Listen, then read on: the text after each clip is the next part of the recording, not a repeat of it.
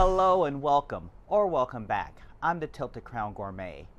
The holidays are here, and there's no better time for a new libation. That's going to be eggnog. So let's get some prep done, and let's get cooking.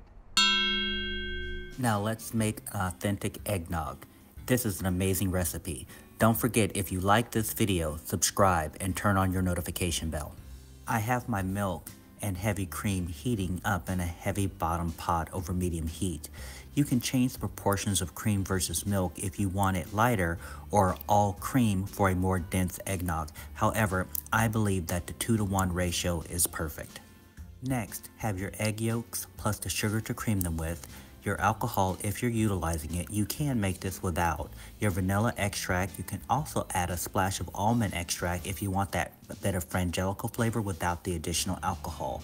Your egg whites plus the sugar to make your meringue, salt, as well as your nutmeg or cinnamon.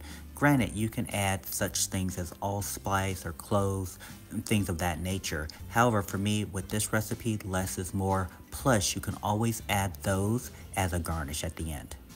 Cream your egg yolks with your sugar, beating well until light in color. Then add your spices and salt. Continue to beat to incorporate well. Next, you want to add in your vanilla, and if you're using it, almond extract, making sure that you beat to incorporate all of your additions well. Temper your eggs by slowly whisking in your hot cream and milk mixture, slowly at first, as you don't want to scramble your eggs. Then at the end, you can pour in the remaining liquid. However, you want to make sure that you're continuing to mix as you do. Place your pot back on the stove over medium heat and stir, making sure that your cream egg mixture does not come to a boil. Remove your egg whites from the refrigerator and place into your mixer and mix on medium high until just below soft peaks. Add in your sugar and beat until soft peaks. It should look a bit like this. This kind of reminds me of shaving cream. That's the consistency that you're going for. Place your egg and cream mixture into a clean bowl and then add your egg whites. You don't need to fold them in as you would for a meringue, but give them a good mix as this gives extra body to your eggnog. You also want to add your alcohol if you're utilizing it. Sorry that my hand is in the way, but I am a one-man show. Take your whisk and whisk your egg whites in. This will make your eggnog nice and airy. Once you're done, you want to place into the refrigerator to allow it to cool, at least for a few hours, preferably overnight. If you're in a rush, you can place this into an ice bath. Once you remove your eggnog from the refrigerator, you may see that the whites have risen to the top.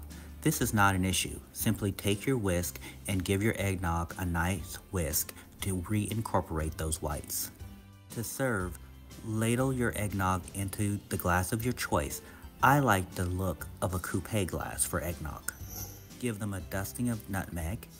So now we're gonna give this a little bit of a taste.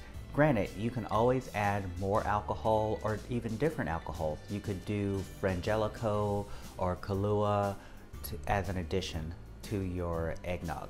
You have to be the king of your eggnog so you make it as boozy as you so choose. Cheers. I'm the Tilted Crown Gourmet.